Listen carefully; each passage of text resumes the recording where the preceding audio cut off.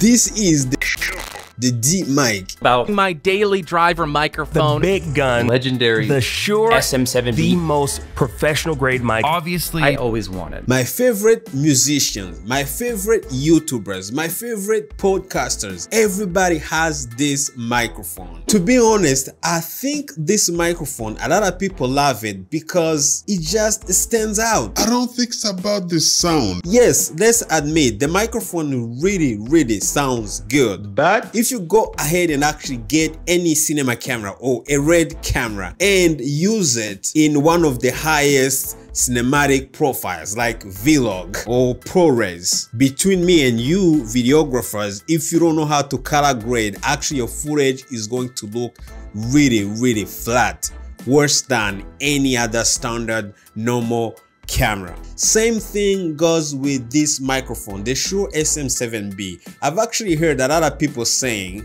this is not me. Don't quote me on this. But if you don't know what you're doing, the Shure SM7B is actually going to sound really standard and basic. That's why I actually watch a lot of YouTubers. A lot of people have it. They look good on camera, but the microphone or their sound actually sounds standard. My SM7B being a waste of money. But guess what? There's one thing that still attracts me. The look. The microphone is so nice. Looks nice. It's just so slick. It gives you the feeling you just want to have it in front of you and feel like you're podcasting even if you're not a podcaster. This microphone was well designed. That's why it became popular in my opinion. People who cannot justify paying four or five hundred dollars and add an extra interface because don't get me wrong this is an XLR microphone so you're gonna need an extra interface to be able to connect it to your computer. On the top of that if you're not getting the Rodecaster Pro 2 because it's out you actually have to get a Cloudlifter because the microphone is super gain hungry and that makes the cost actually go even higher so if you're not ready to spend that kind of money, what do you do? Probably gonna go with another brand that will make something that will look like the Shure SM7B. Even Shure themselves, they actually realized that everybody couldn't afford the Shure SM7B. That's why they came up with the MV7 with the USB, which means you could actually connect this microphone straight to your computer. But what if somebody actually thought about making exactly almost exactly the same thing and give it a USB port and make it actually a dynamic microphone that will sound almost like the Shure SM7B that will actually solve the problem and today I actually have one here, the FIFINE K658. So take a look, this is the box. This is everything that you get in the box. You're getting the user guide, a super super nice USB Type-C, this shock mount that we're gonna be talking about in a moment, and some other accessories obviously to be able to attach a microphone. And the last thing, this is the D microphone. This is what it looks like, almost like the Shure SM7 and I believe these guys were actually going after the Shure SM7B. This is a dynamic USB microphone. Check, that's perfect.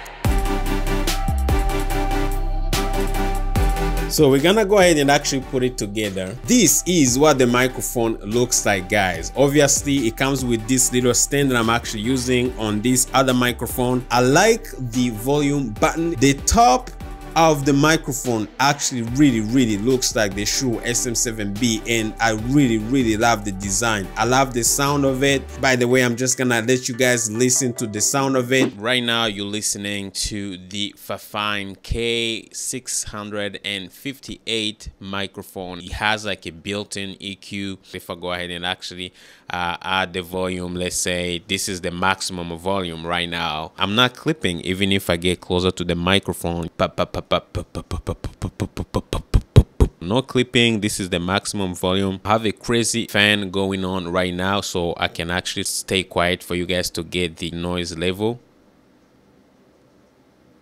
If you are in a noisy environment, this will be actually a perfect microphone. So this is another clip with some effects applied to the microphone. I just added a little bit of bass in my voice. The microphone is already bassy enough. I just, if you want that radio host kind of deep voice and then you can add a little bit of EQ maybe don't play with EQ that much. Now this is USB again which is super cool. You have a headphones jack which means you can plug in your headphones. We have RGB so a way you can actually have some RGB going on. If you're a gamer this is gonna be super super awesome and I love this button here. You can actually tap to it and it's going to actually mute or unmute the microphone which is even super super awesome because the Shure SM7B obviously doesn't have that. I'm super happy with everything about this microphone but there's one thing that I'm not happy about and is this thing here. It's not working. This shock mount I don't care if it does the job. Not talking about that, but it's the design. It was almost perfect. Just change it, man. Like, remove this thing here. This part has to be changed. You need to add a small section here and you need to move the USB port and headphones port somewhere here. Make it look nice and clean and that should be the next Shure FM7B. See, I even gave you a name. It's Shure FM7B. So guys, if you like this video, please make sure you hit that subscribe button and like. My name is Sam and I see you on my next video. Take care.